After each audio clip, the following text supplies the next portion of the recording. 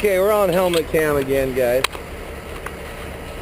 Now I was waiting for all the activity to get kind of done. But we're doing a light polo. We're going to Virginia. We're down in Houston. I just emptied a flatbed load of steel. And uh, this particular trailer, like I said before, 51 foot step deck, sliding axle, 41 foot bottom. So these light poles are 40 foot and it was no issue of grabbing them and putting them on my step deck. And so you can see it's going to ride nice and stable because they're not really that high. You don't have any worries at all. But for my capacity, it works out really well. Now, I'm going to be running three bellies, there, there, and there. And then I'm going to throw every strap I can over the top. But I've got most all my winches all set. Uh, once I throw them over, I'll pull them up till I hear the buckle rattle. Then I know to stop. Now the next trick I'm going to show you is feeding these other guys through.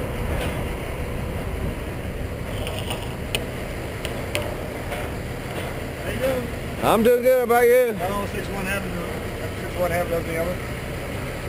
Okay, I just stick that on there and put this right on through, pushes it over to the other side because I can't reach through.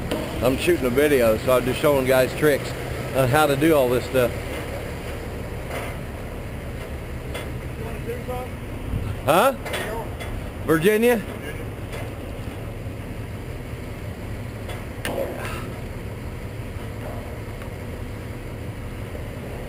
There we go. Next one as you can see just kind of holds the edge. Now you can do it the other way. You can stick the strap in to the hollow tube, but you have to go manually undo it on the other side. It doesn't always do a very good job to just pull it because it doesn't doesn't always work that way really good.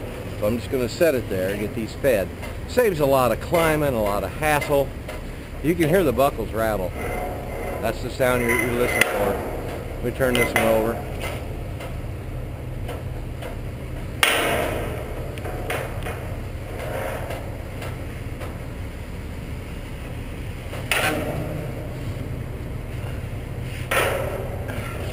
Okay, that's all fed.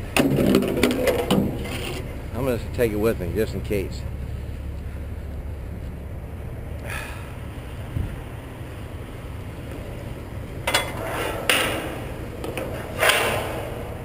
That one's done.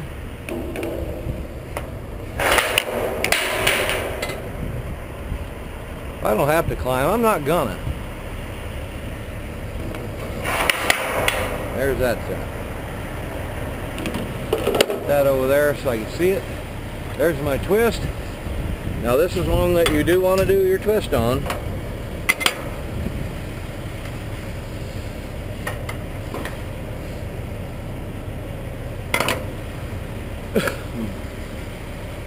you gotta watch for these pieces.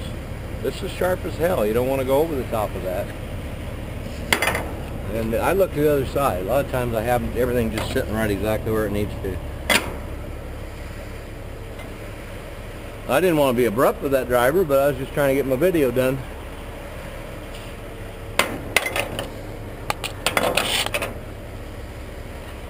Because they're all Landstar. Most everybody here is Landstar, so we'll move this one just slightly. Because it might be different on the other side. You gotta look on both sides. You can look for pieces like that. So we're at over here.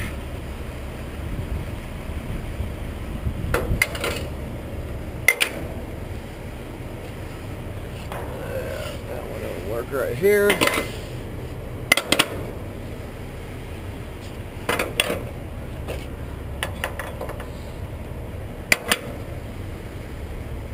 This one got twisted, so I just do that. Now I'm glad it did the first shot, so I didn't look like a fool, but sometimes that doesn't work.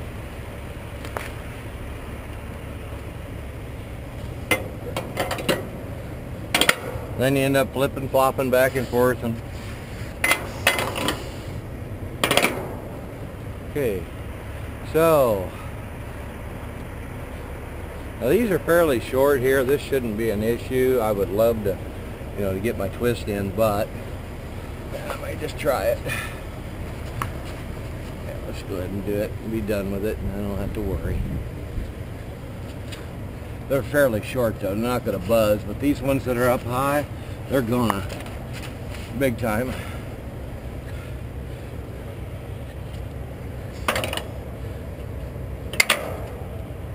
So I got th only three bellies, but they're spaced out. Load is 33,000. Working load limit 5,400. So, you know, I just want to make sure that I've got enough to cover pretty much the bottom half if I need to. And I do. So, half of 33 is, you know, going to be 16.5, but, um, you know, this is pretty close. Having three straps is great. I just want to make sure that I've got some kind of coverage down on the bottom. Oh, yeah, twist.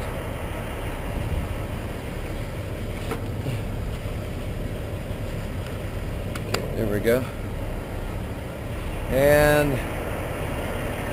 it's pretty close to the front. I told them go ahead and take it up to the bulkhead if they wanted to. But they didn't. That's alright. It's close, it's not going to matter. If it does slide from braking, let's say I have a hard braking situation, then it's not going to go anywhere. And I got tested on my uh, flatbed, or my flat steel load coming down. There was a merge on a, and I didn't get the camera on, it was too, too fast. It was two semis, one coming up beside me on the left, truck in front of me, started moving over at the merge now sign. Well, that's all fine and dandy, except they pushed the other tractor and, and trailer outfit into the dirt.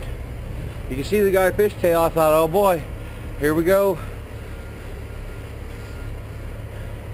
I really thought that that guy was going to bite it right there. But he didn't. He pulled it out. Swift run him right into the, the ditch. I was kind of amazed. When I passed the driver, he didn't look like he was brand new or young or whatever, but, you know, just, you never know. It's a training outfit, so, you know, I can't complain about all of them. I trained at Werner.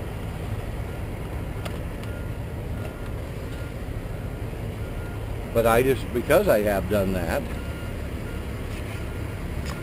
I can make a guess at a scenario, right or wrong. There's several possibilities. But, I don't know. I don't really like that. I guess it's because it's the way this... I'm going to go over here. I'm going to go change that on the other side just to match up.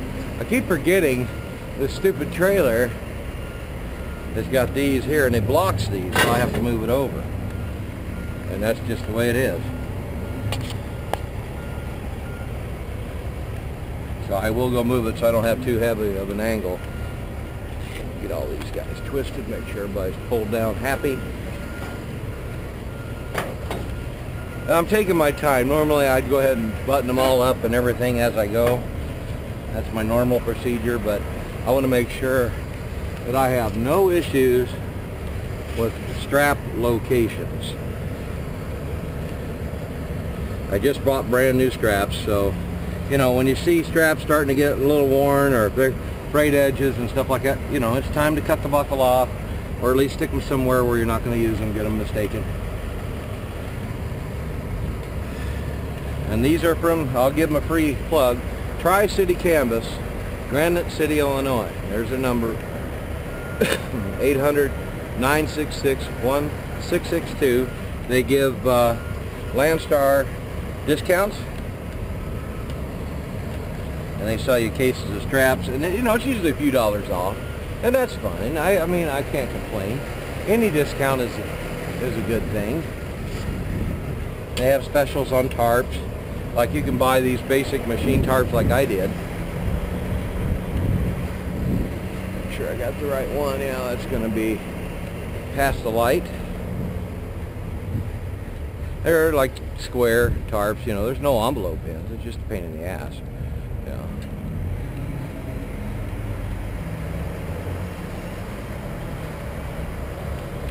He's way over here.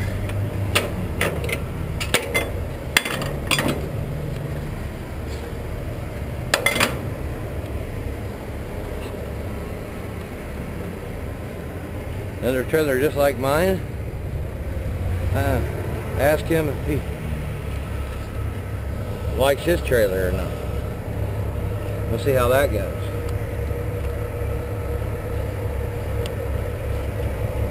The only good thing about this trap is the straps are stretched out like that, you got a lot less wrap. It usually goes fairly quick.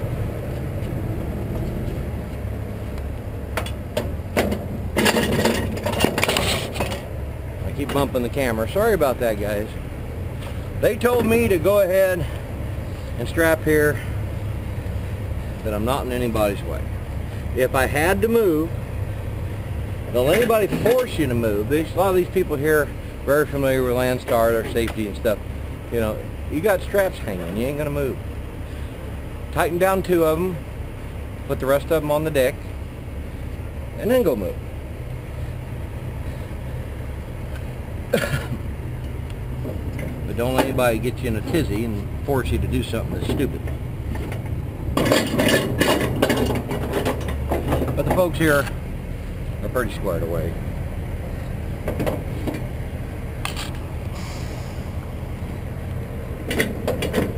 They loaded fast. They know everybody wants to get the hell out of here. It's Labor Day weekend. They want to get all their work done too and get the hell out.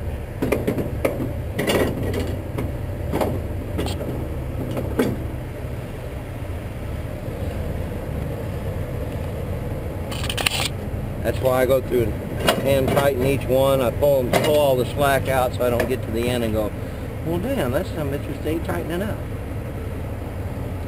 You'll learn a routine. You may not like the way I do it, but you see how fast I do it. You know, wrap your straps the way you see fit. If you get a trainer, you know, because you guys are going to have to go through platform training. There's no freaking doubt in my mind. Don't just go out there bare naked with no idea what the hell you're doing. You can kill people. Uh, it'd been a few years since I'd done platform. I had to go take a three-day refresher at Landstar, and that's fun. Zero complaints about that. I learned two new techniques. I learned from people that done heavy haul for 35, 40 years. I ain't bitching. You never can tell because like at, uh, Werner flatbed, they only have so much equipment and so many uh, styles of securement and freight.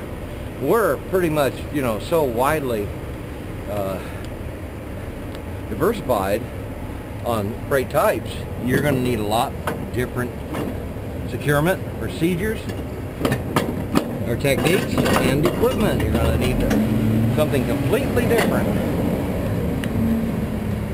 I'm going to at least get this stuff buttoned up and rolled up so in case somebody needs needs me to move, then I can do that. You see how fast it goes. After doing it for so many years, now see, I moved it, and I didn't do exactly what I just told you guys to do just a little while ago. Because I moved the location of the track. That is a prime example. I'm not embarrassed. That just shows you what happens when you start rolling and going, oh, wait a minute, it's not tightening up. Well, I just mentioned that a few minutes ago. Okay. And that's the one I just moved, so no biggie.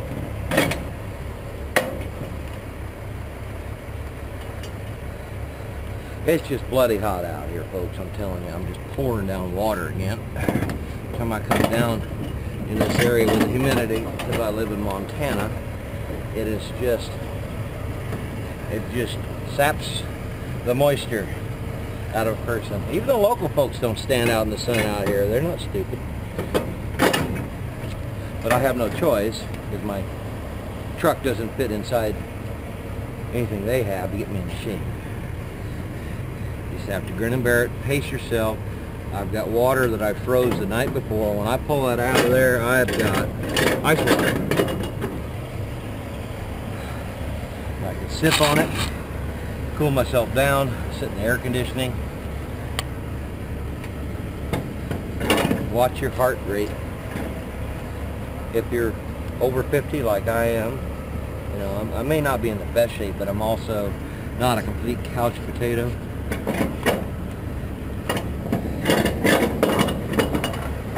Just watch yourself. Heart rate starts going up, you're getting flush.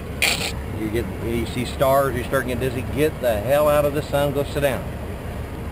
Get someplace cool, get some water. Take a break. It might be 15, 20 minutes before you can return. It shouldn't matter. If anybody gives you any crap, just tell them, you know, I got, I think I'm getting a bit of heat exhaustion, and I start getting dizzy. It's not safe. All you have to do is that uh, four-letter word. It's the only good four-letter word you probably should be using. It's basically safe. There's other ones you could use, but may not always be cool to the customer, so we're not going to do that. I can't see. Yeah, sorry. Yeehaw. Last strap. Just pull it up and through. See? Two hands. Snap it in. Under wrap. and then estimate. And I pull my hands up like this. Straight up through. Grab it. Pull it up to the edge. Line everything up. Pull my slack. Like that. And I roll it in. These are still new and they're still a little stiff. Okay.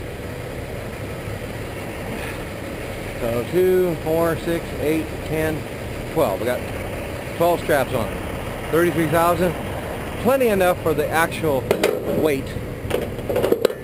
That bar's hot. I'm gonna do my bellies.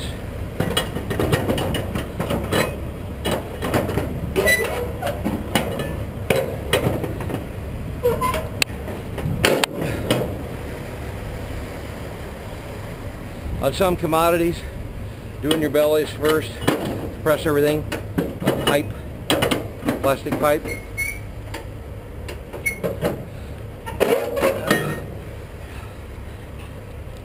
Be careful how much pressure you put on them, but this one here, it matters not one single bit. I use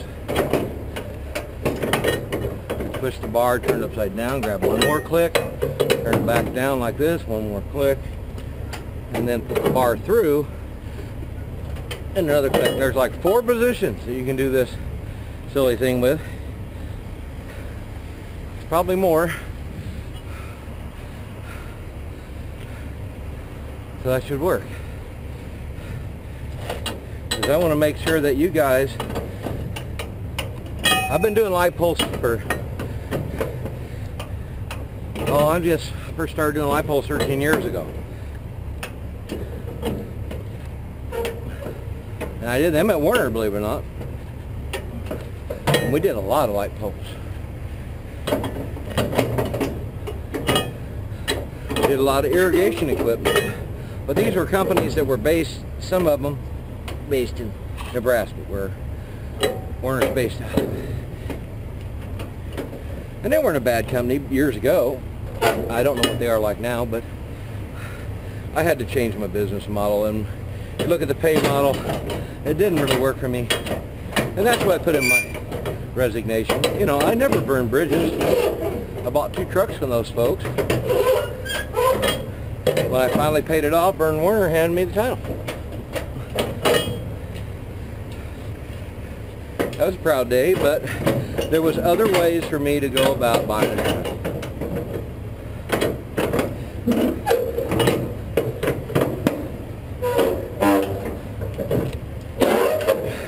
There are other options out there. That one's belly, all good. I've already made customer contact. I know that they got a parking lot. It's wide open. So when I get there on Tuesday night, I can only deliver on Wednesday. There's going to be 12 trucks. So you can bet your bottom dollar that I'm going to be in there.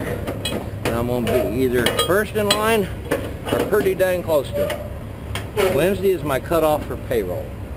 If I don't get it in, you know, I'm not going to scream. They got delayed because I'll still get paid. That should be the following week. That's the way it goes. My wife understands that. She does the adjustments accordingly. Great bookkeeper.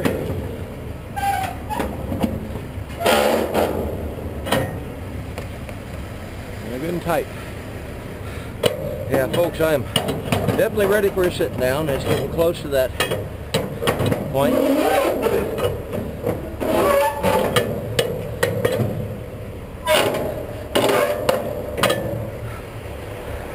Yep.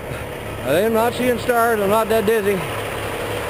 But I can tell you, oh, that's Q41. Mine's Q42. That's pretty cool. Oh, yeah, I guess it's time to sit down.